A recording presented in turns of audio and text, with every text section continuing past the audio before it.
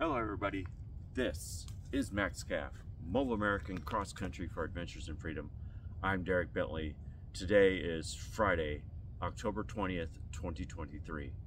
Um, I'm here at Jesse H. Jones Park, uh, just getting a little biking in, and uh, I'm going to head out to the river and see what we can see.